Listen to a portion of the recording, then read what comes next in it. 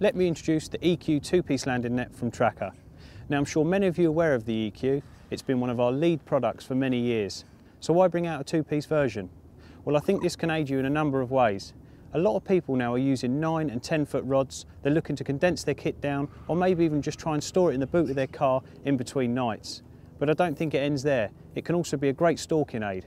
Its two-piece version means you can roll it up really small when walking around the lake and it's just simple to just put one section into the other and reassemble when in the swim. Now I think its biggest aid will be when using a boat.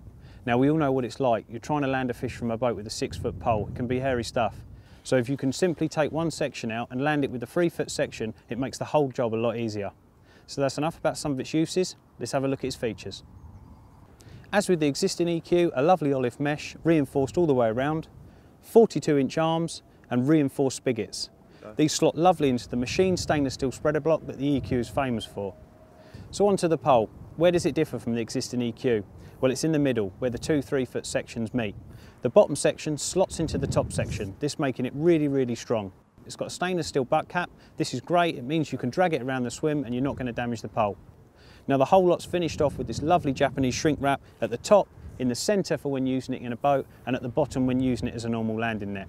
So there it is, the two-piece EQ landing net from Trakker, available from all Trakker stockists.